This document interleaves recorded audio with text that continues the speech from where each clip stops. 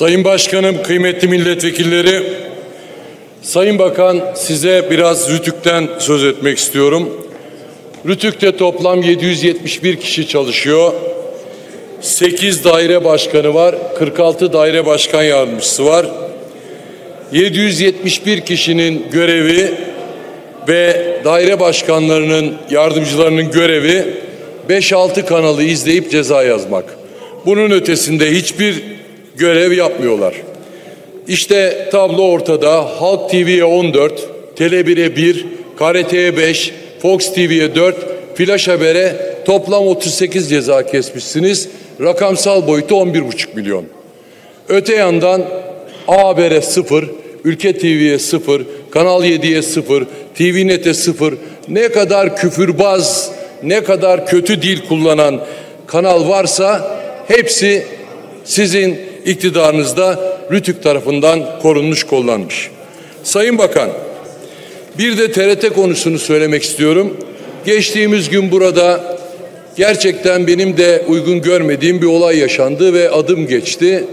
Atilla Sertel TRT'de tam dokuz kez haber oldu. TRT Haber'de tam dokuz kez haber oldu ve ismim iki kez verilirken haberde kınama cezası aldığım defalarca tekrar edildi. Ancak burada İyi Parti'nin çok sevdiğim, saydığım Hüseyin Örs isimli kardeşim, arkadaşım burada ağır bir saldırıya uğradı.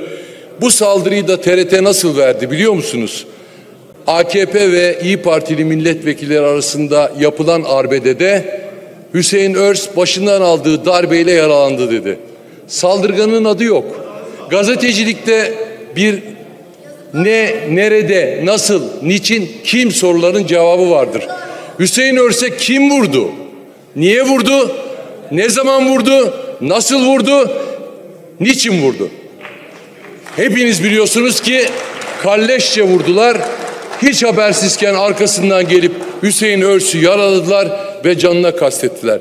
TRT'ye yazıklar olsun. Arkadaşlar TRT benim kınama cezamı almamı Türkiye halkına dokuz kez duyuran TRT niçin burada AKP'nin milletvekilinin ölüme kastettiğine ilişkin haberi doğru düzgün vermiyor? Bakın Sayın Bakan benim size bir teşekkürüm var.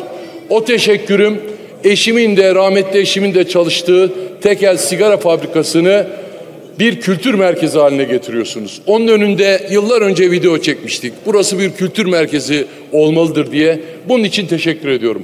Ama bir de eleştirim var. Buca'da tarihi bir Forbes Köşkü var. Buca'da, İzmir'in Buca'sında. Onu kendi kaderine bıraktınız. Onu lütfen ele alıp Buca Forbes Köşkü'nü kazandırın. Bu bütçeyi ne bütçesi olarak adlandırıyorlar? Halk bunun neresin diye soruyorlar. Ben Fuat Oktay'ın konuşmasından bütçenin neresinde halk olduğunu açıklamak istiyorum arkadaşlar. Diyor ki Fuat Oktay, biz diyor bu gelirleri yüzde 41 oranında arttırarak 3 trilyon 200 milyar liraya ulaşacağını öngörüyoruz diyor. Eski parayla söyleyeyim 3 kentilyon 200 katrilyon parayı halkın cebinden toplayacağız diyor. Nasıl toplayacaklarmış onu da yazmış. 40. sayfada. Gelir vergisinden 495 milyar lira toplayacağız diyor. Kurumlar vergisinden 619.1 milyon milyar lira. Özel tüketim vergisinden 510.6 milyar lira. Katma değer vergisinden dikkat edin 1 trilyon 135 milyar lira.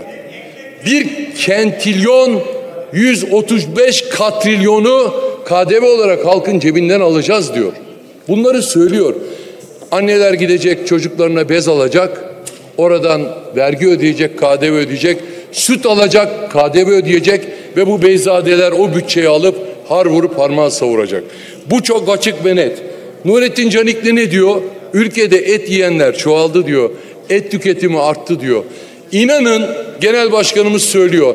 Bir başka dünyada yaşıyorlar. Bir başka evrende yaşıyorlar. Bir başka dünyaları var. Bir sarayın dünyası var. Bir de halkın yaşadığı gerçekler var. Biz halkın içinde yaşıyoruz arkadaşlar. Biz halkın vekilleriyiz. Biz Türkiye'de sokaklarda, Türkiye'de biz cenazelerde, Türkiye'de biz düğünlerde halkın arasındayız. Halkla beraber yaşıyoruz. Otobüse de biniyoruz. Buyurunuz efendim. Bizim dünyamız farklı, bunların dünyası farklı. İşte Fuat Oktay, halk bunun neresinde? 3 kentilyon 200 katrilyonunu halkın cebinden alacaklar ve saray bütçesi olarak harcayacaklar. Örtülü ödeneklerde harcayacaklar. Beşli çeteler için harcayacaklar. Sadece Türkiye'de beşli çete yok. İnanın her ilde beşli çete oluşmuş. İhaleler onlara, kazananlar onlar, varsınlar onlar. Sayın Bakan'a buradan ihbar ediyorum.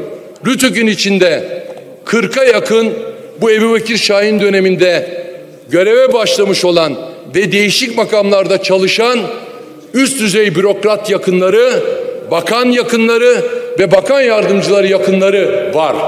Ya bunları açıklayın ya da ben bunları bulup teker teker açıklayacağım. 40'a yakın insanı aldılar.